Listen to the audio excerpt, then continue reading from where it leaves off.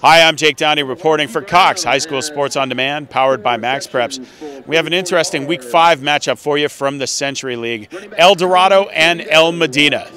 El Modena is 2 and 3 and 0 and 1 in the Century League, paying a visit on El Dorado, which is 1 and 4 but 1 and 0 in the league. So let's kick off El Dorado hosting El Modena on Cox High School Sports on Demand, powered by Max Preps. First quarter, El Dorado in the white, and this is the start of a ginormous night for Mark Parsons. The Eldo tailback has a couple of steps on Elmo defenders and the cameras. Where is Mark? Oh, Mark, thanks for checking in.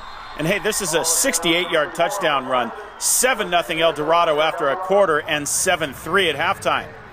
Late third quarter, 10 7 El Modena, but not for long. Parsons off tackle and across the goal line from the three. El Dorado takes back the lead. It's 14 10 White Shirts after three. Fourth quarter, Eldo at the Elmo 36, and the pitch goes to Parsons. Looks like Mark is bottled up at scrimmage until he squirts free. Wow! Mark cashes in his third touchdown of the night. This one covers 36 yards. He had 213 yards on the ground. El Dorado has a 21-10 lead with nine minutes left in the ball game.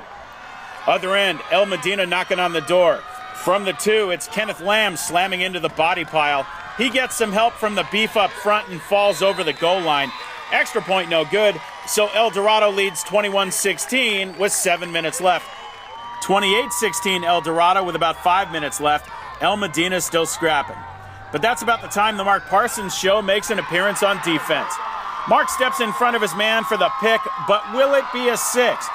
Mark beats one man at about the 10, and he's got the six. It's a 37 yard interception and run back for a TD. El Dorado has a lock on this game. They lead 35 16. Three minutes left. Here's game, set, match. Eldo giving Parsons a break. Ryan Joblon through scrimmage, and he gets his touchdown on from 13 yards out. The visitors have a 42 16 advantage. Two minutes left, the home team gets one back. Daniel Contreras on the rollout and throws across his body and accurately to Ryan Keene. Ryan waltzes across the goal line for a six yard scoring catch. Add in the two point conversion, and it's an eight point touchdown for El Modena. All that does is change the final score, but not the result. El Dorado now 2 0 in the Century League after they hang up an impressive 42 24 road win over El Modena, which drops to 0 2 in the league.